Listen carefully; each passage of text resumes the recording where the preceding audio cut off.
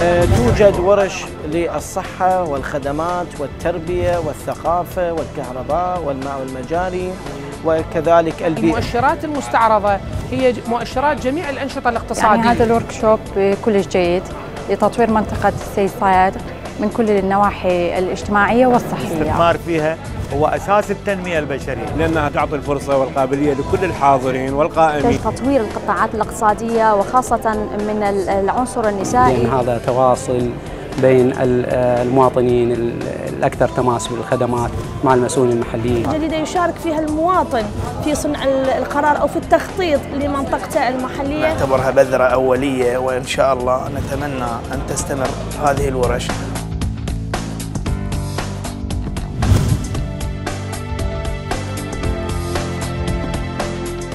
People from all walks of life come together to identify the issues that matter, create shared goals, and develop plans of action.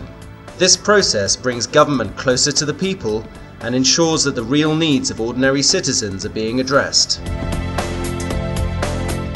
أقام المستوصف البيطري في قضاء الشبايش بالتعاون مع برنامج التنمية المحلية كانت الإصابة عندنا لولا اللقاحات إصاباتها 50% احنا نشكر المنظمة اللي بنت لنا هذا السايلو الشباب يسوون لنا إياها صفوف. حتى رحل جديدة حطوا لنا